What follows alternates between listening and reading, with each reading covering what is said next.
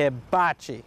Now, all of you, I'm sure, have heard of it, but if you haven't experienced it, I have a treat for you. Here at Kon Asian Bistro, and I don't even have the words to describe it. We're gonna have to just go inside and show you firsthand why you need to come here. Come on, let's go check it out. It's always consistently good. The service is always fantastic. There's nothing bad about the place. Jenna, Jenna, I must say, walking in here, the first thing that comes to mind is this atmosphere is incredible. It's beautiful. They did a great job. The red and black is really classic and sleek and the lit up bar. I was online the other day and I was checking out your menu because I wanted to be prepared when I came because I am hungry.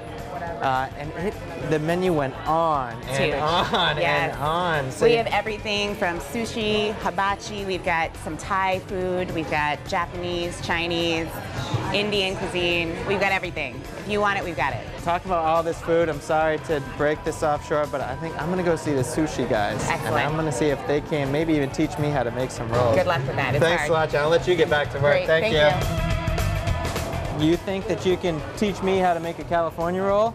Yeah, sure. Okay, so where do I begin? I see these Yeah. gloves. Should I put these on? Yeah. Okay. You gotta put gloves on. I don't even know if I would eat something I made without gloves on. After making my own California roll, which is not as easy as it looks, I might add, I did a pretty good job. Not gonna lie.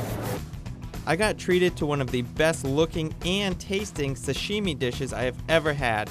This one dish contains tuna, whitefish, shrimp, sea bass, white tuna, and so much more, and the presentation is incredible.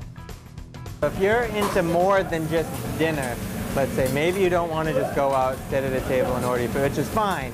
But if you also want a show to go along with your meal, you have to come to the hibachi. I mean, just ask this guy, hey, are you having a good time?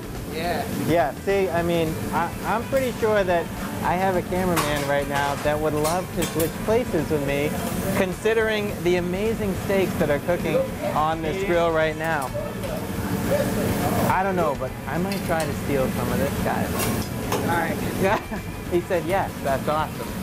So yeah, as you can see, chicken, steak, shrimp, the salmon, the rice, and and let alone it's the show. You got to come in. I can't. It's hard to explain. You got to come in and just see these guys in action. But enough of that. I'm I'm back to this. So as you can see, this place is always full of excitement and action. You know, whether it's that romantic dinner or you just want to bring the family, bring the kids, it is always a good time here.